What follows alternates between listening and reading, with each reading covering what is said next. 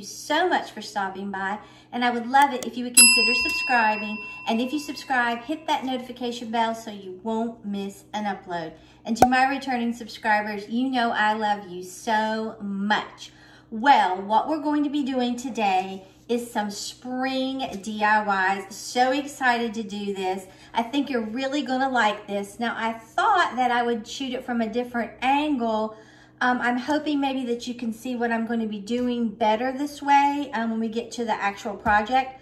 So let's get started with this first um, little spring DIY. What you'll need is, um, you're going to need one of these cloches from the Dollar Tree like this, okay? And we're just gonna use the top part. And you're gonna need one of these little um, clay pots. I can't remember if I picked this up at, I think I got this at Dollar Tree. Maybe I didn't, I don't know. Then you're gonna need some eggs of your choice, okay?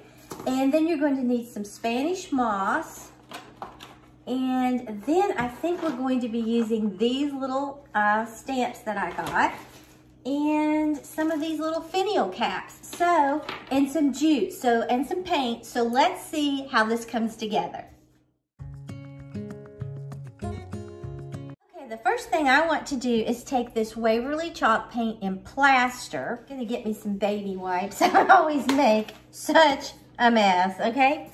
And I'm just gonna dip into this lid because I don't really need a whole lot.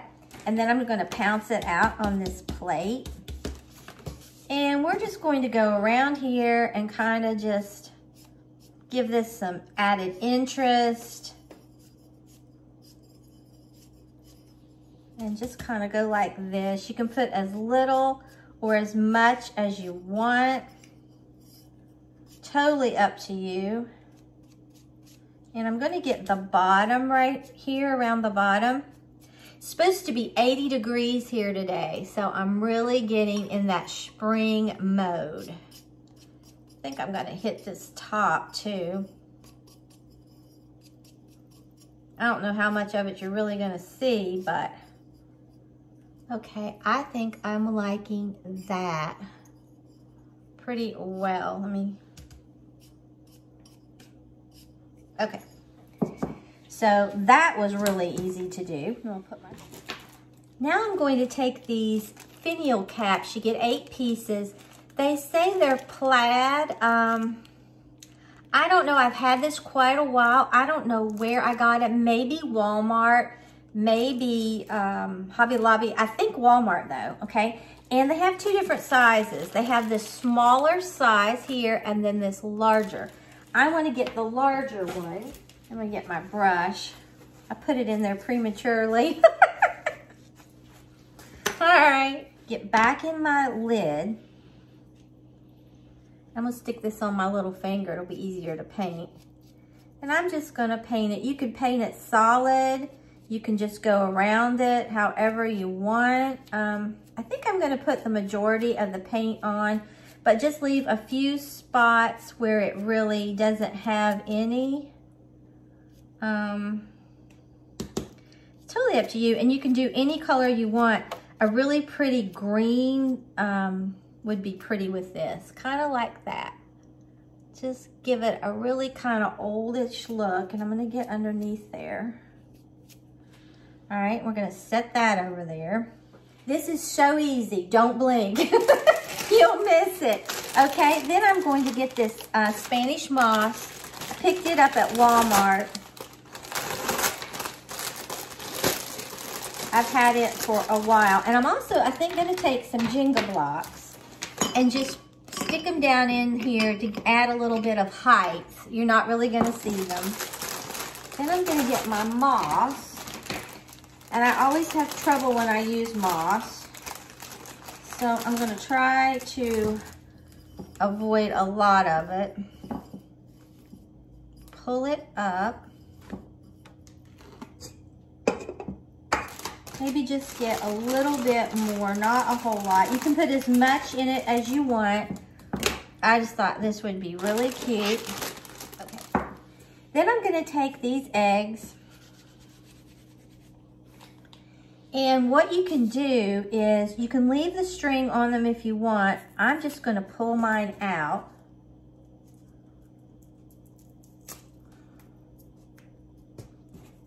Some of them make a bigger mess coming out than others.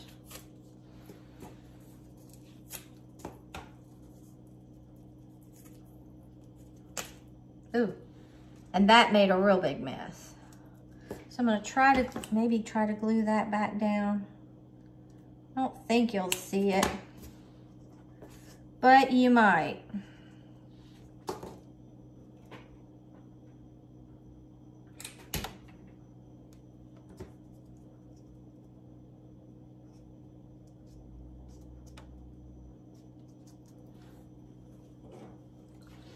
Okay, no harm, no foul. You'll never know it.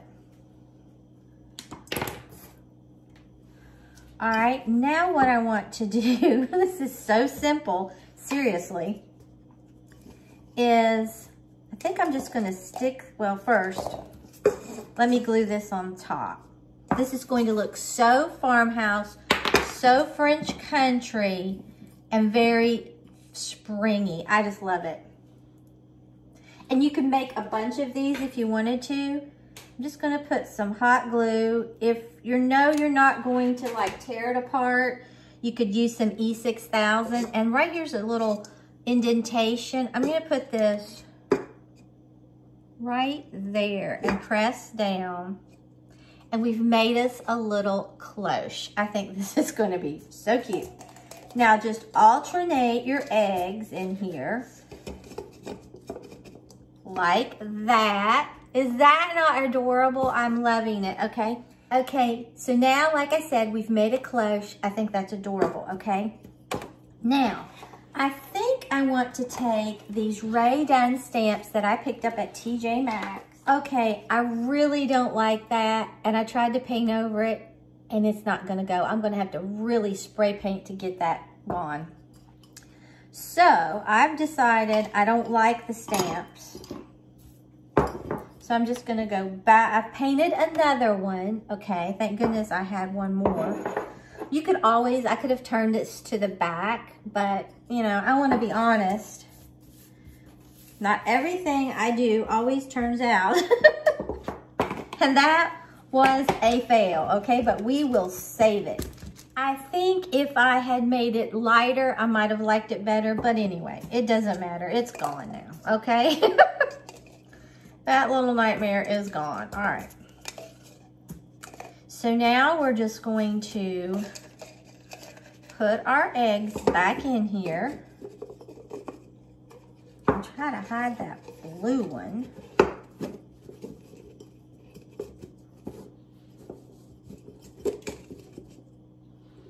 Okay, that's what we're getting so far. I really think that is adorable.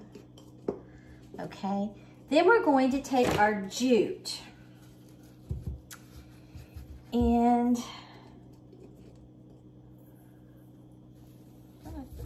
take quite a bit because I'm not really sure what I'm going to do.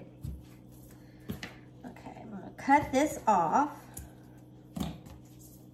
And I'm going to, I think maybe double it around, let's see.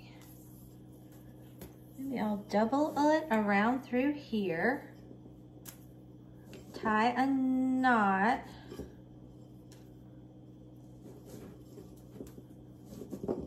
No, it's hard for you to see, but I'm just tying a knot in front. Then I'm gonna bring it up here. And I think I'm gonna cross it over like that to make it look like it's, you know, that's what's holding it. Holding the lid on, because you don't want your lid flopping off. You could glue it, but I don't want to.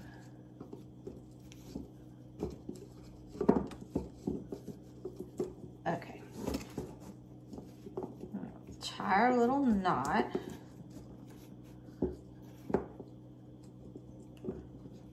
You can tie a bow in this or you can just do a knot.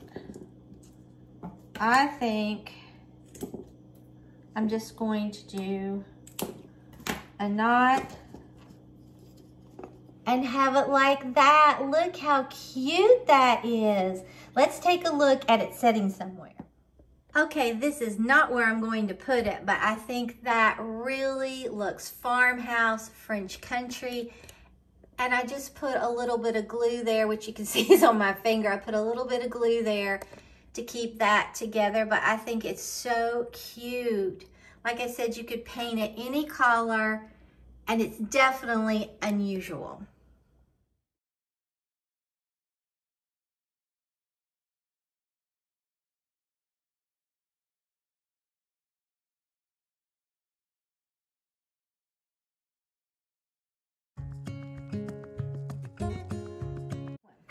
Okay, for the next spring DIY, what I have is I had Melvin cut me. We have a lot of old wood around the house, and I just had him cut me two boards, the size that I wanted, and they could definitely be smaller. It's totally up to you. Then I'm going to, we're going to be using some Waverly chalk paint.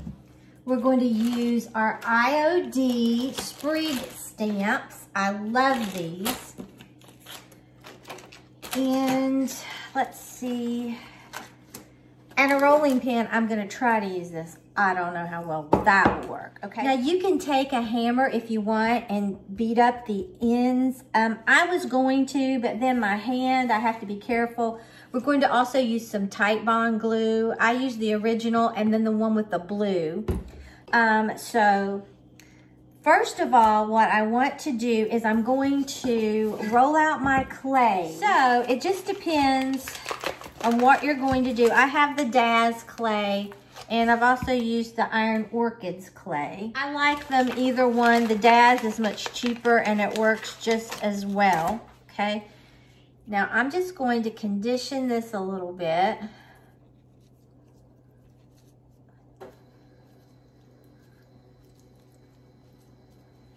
Put this back in here so it doesn't dry out. Okay. I think this is drying out, okay. Now I'm gonna try this. I don't know if I'll be able to use this or not. We'll see.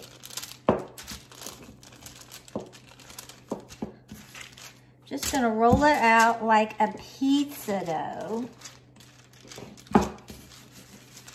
It doesn't, it can be as irregular as you want.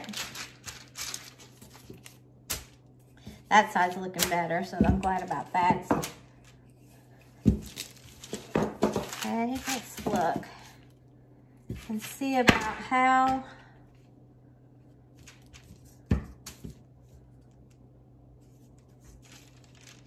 I'm gonna do this.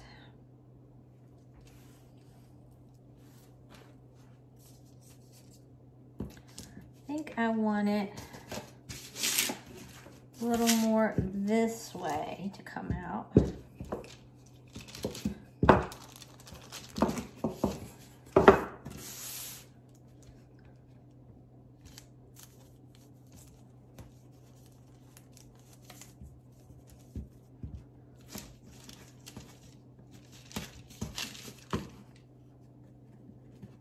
Just kind of peel it off.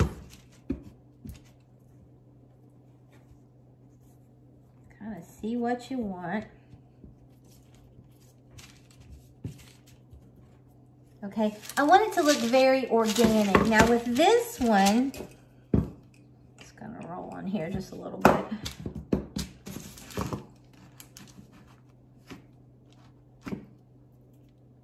Kind of pull that off the edge like that. All right, now what I want to do is while this is still wet, I'm going to take my sprig stamps and I've gone ahead and cut them loose and see, I'm just going to take this.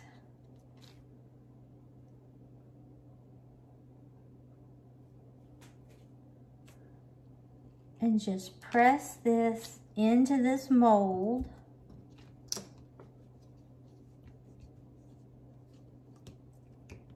Oops. Try not to shift. I think I shifted some.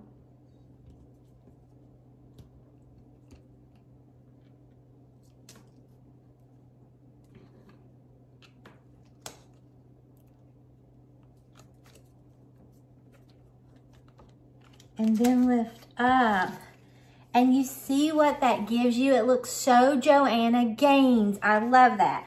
Now with this one, I'm going to go ahead and just paint this all white, okay? And it will do a little bit of cracking and that's fine. That's not gonna bother me at all. So I'm gonna go back into my Waverly chalk paint and plaster. I just love making things that look so expensive and they're not. and it's fun. Oh gosh, it's fun. Okay, let's see. Let's get some and pour it out here. Again, you could use any color that you wanted. I'm just going, you could paint your board first if you wanted. Um, and I probably should have, I got ahead of myself. It's easier around the edges if you go ahead and paint it first. It gives you a more seamless look. But this is just going to be so pretty. I could not help myself.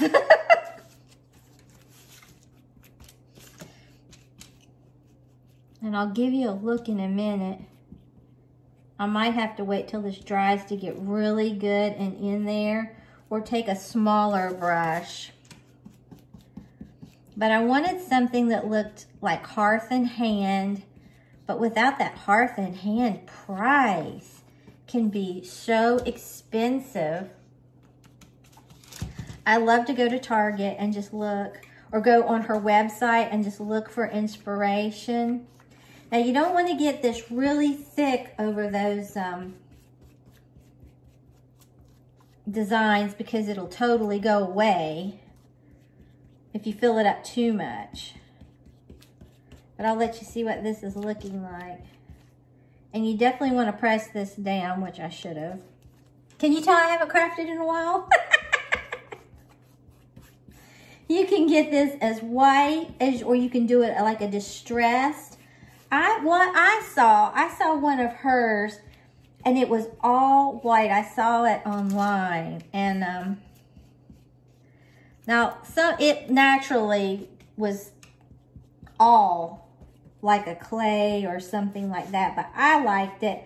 I thought it was really pretty and I thought, oh, I can make it. Now you could make yours thinner, your clay, but with my hands, there's just, it's not that practical for me to do that and uh, I'd probably just really hurt myself and then I wouldn't be able to do anything. So I left mine a little thicker, but I think it's pretty thick, but the thinner you get it, the more it would resemble hers. And I didn't glue this down. Oh my gosh, where is my mind? Ugh. Okay, well, glue yours down I think this will probably come up. But that's okay because I will just glue it down. But don't do what I just did. I hate it when I do that. Glue it down with the Titebond glue and press it down all over. I got so excited that I wasn't thinking. And I'll probably go back in better these edges Okay, this is what we're getting so far. I love it, okay? And it might take a couple coats of paint. I'll do another one and I won't mess up. because I want to do another one at a different, you won't do that. You will be more careful. You'll glue yours down. You'll press it down. you'll do, and you'll paint it first. You'll do everything I didn't do. and yours will turn out beautiful. Okay, that's what we're getting so far. I think that is adorable. Okay, now I'm going to set this over here to dry. Okay, we're doing another one. I was going to anyway. This time I'm going to use the Waverly Antique Wax. I just want to give this a pretty effect. And I'm going to show you the correct way to do this. Ugh. I'll pour out a little bit. And I have a little bit of water in my brush.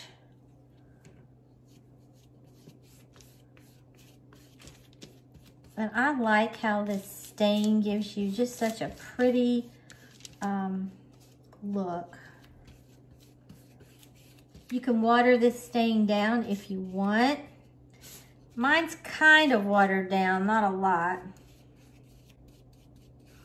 Not much at all now. Okay.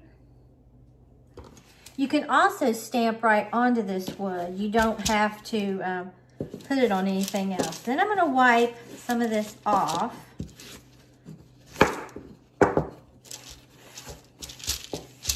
I think it just gives it a really pretty color. And depending on how much you wipe off is how light it gets. That's how I wanted mine to look, okay? So I'm gonna set that over here. Okay, I'm gonna take some more of this Daz clay. I'll link um, it in the description box. You can get it at Michael's though. Um, but I'll link my Amazon link if you're interested.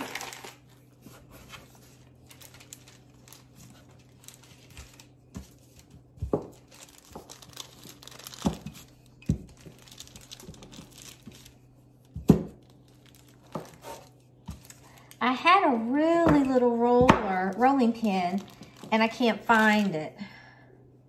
And I think I would be much happier with it.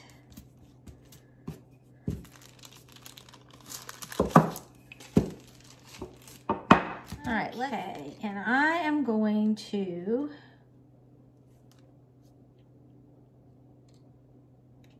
same principle, push down on this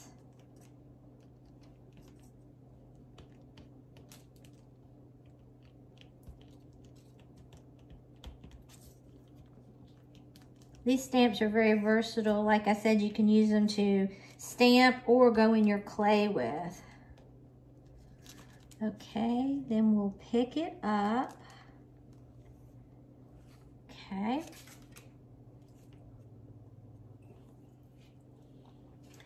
Then what I'm going to do is figure out how I want this on there.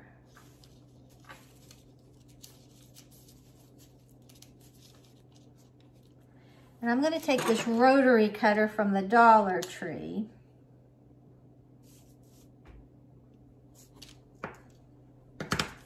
Just kind of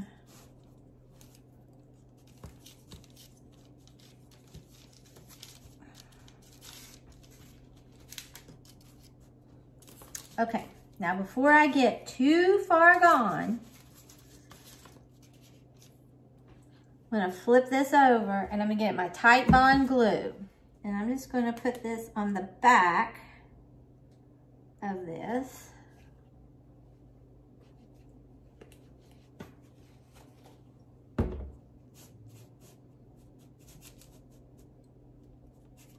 I'm gonna flip this back over. Put this on here.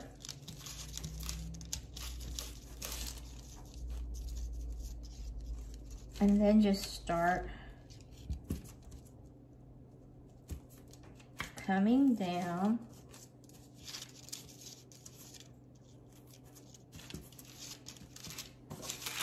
and then I'm going to take I think this one's going to be my favorite. I'm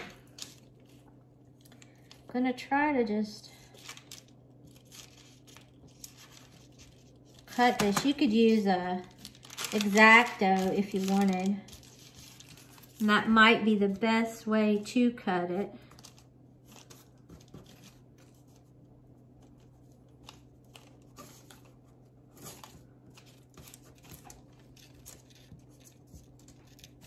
And in some places, it's not going to be all the way around.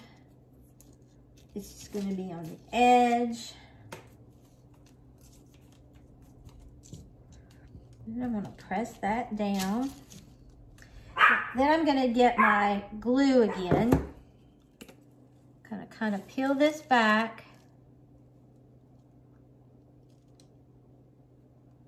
Press that down there.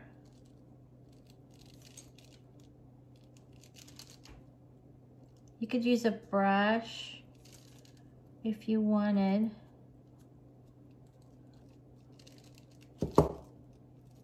Think I'm just gonna tear that off. Okay, now we've covered that all the way around. Just gotta press it down good. Got that glue under there. Now I think for this, now I'm gonna go back to my white. The only thing about this Daz clay is it doesn't, it's more of a gray as you can see. And the IOD is whiter, but you can paint it. That's the only difference. But this is much cheaper. So to me, that kind of outweighs any kind of little issue you might have.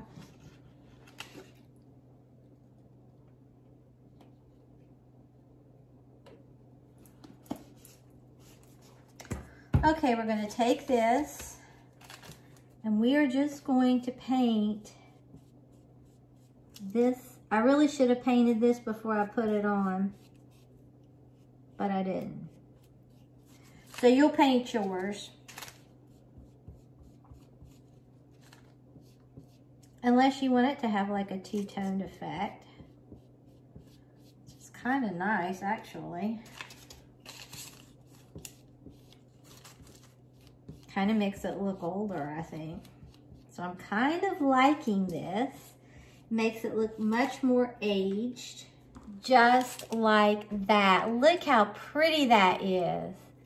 And it once it dries, it will be beautiful. It will just look, this is my favorite, okay? So let me let these dry and we will go do our third. Okay, here these are. Now these aren't where I'm going to set them either. And I have parchment paper under them because they're drying, but just look at that. I love how it just looks old. Like I said, you could totally paint this one all over if you wanted, but I really like that half painted, half not look. I think it looks so good so old and worn. Then here is this one. I really like how that one turned out as well. I love these. I think they look so farmhouse, so French country, so perfect.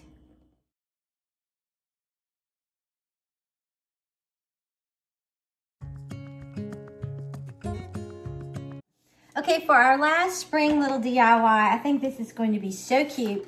A lot of you may remember when I hauled that little bunny the other day from TJ Maxx. Well, I had picked this up earlier from Target. It was $5. It was with their arts and crafts. And I knew what I wanted to do with this, okay? So I'm going to make a little mate for my other bunny. so what I did is I just got some scrapbook paper, laid the bunny down on it, and traced it out. Simple, okay? And that gives us this, so cute. You could also use these bunnies as templates, trace them out on fabric and make your own little bunny pillows, okay?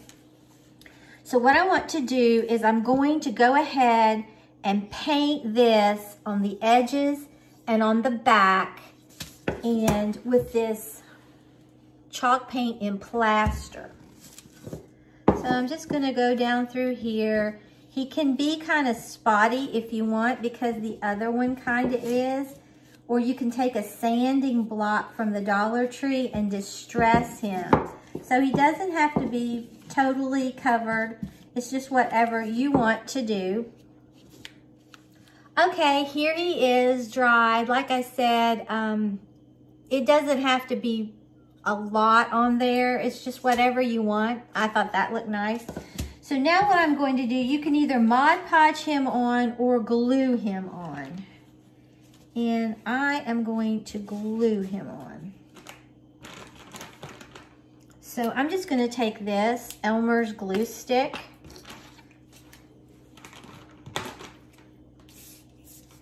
And just glue him on here really well.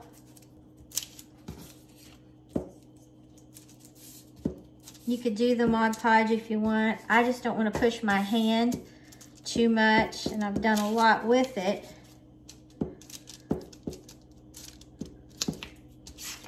But definitely do whatever you want to do.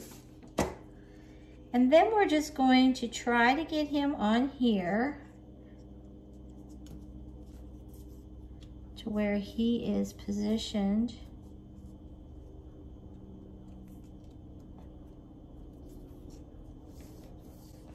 Nicely. Okay, and that is what we're getting so far. And then there's the back and the sides, okay? Now, if you wanted, you could take a um, sanding block and just come down through here and kind of tear away some of the sides and soften them. Um, I'm not going to because of my hand. I think it would add a lot to it, but I'm not going to do it. But that is what we have so far. I think he is adorable. Then I picked up some wooden beads at Walmart, various sizes. I have some from Amazon, but they were the wrong size. They were all too big. So I picked these up. I don't remember how much these were. I don't think they were exceptionally expensive, okay? And then I went ahead and painted two of these white, just kind of a rough paint. Okay, and then I'm gonna get my jute back out.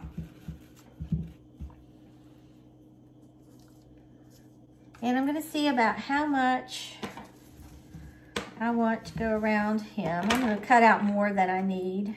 You can put painter's tape or you can do scotch tape. And to tell you the truth, I'm going to do the scotch tape because I have no idea where my painter's tape is. Okay, there's that one. So now I'm just going to tie a big knot right here to kind of just hold this on. It's going to look a little different than most that you've seen, but I want to do mine this way. That's the beauty of it. You can do whatever you want. And let's see, how many times do I want to wrap this around his little neck? Okay, here he is. Now, I've debated about whether or not to give him a cute little tail. so I have these Dollar Tree snowballs. And I thought I could give him, I think I will give him a little tail. Why not?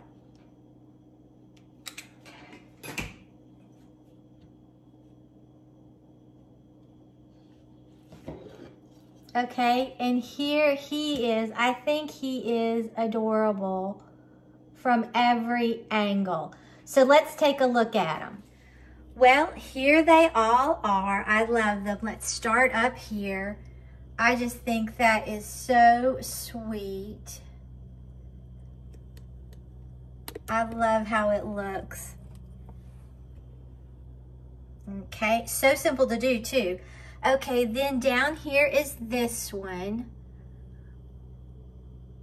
I'm in love with that. And then this one, I went ahead and painted a little more white in there because I thought it was a little too um, blah.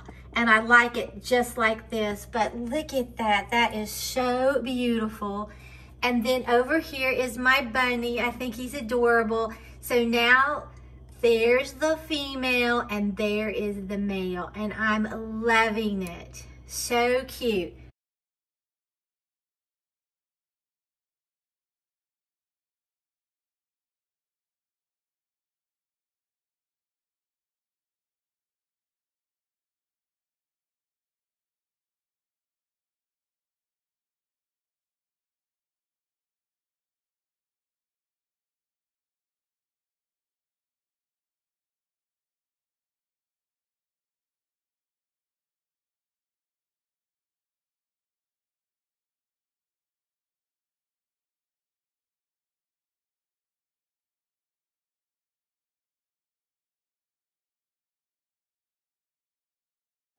Well, I hope you enjoyed these spring DIYs as much as I enjoyed making them.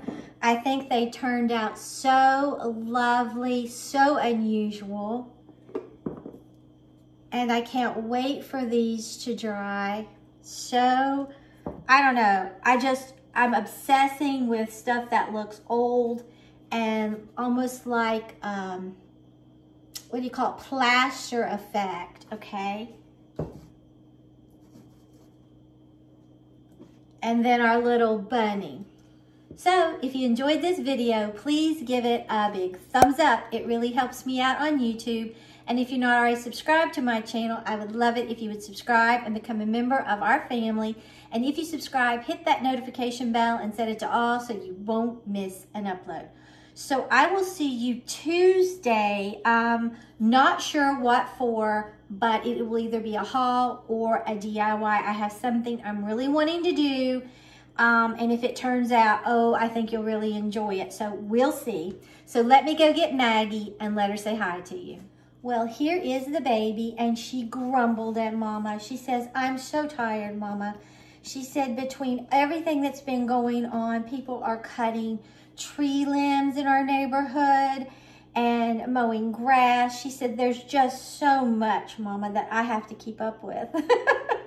so until next time, bye guys.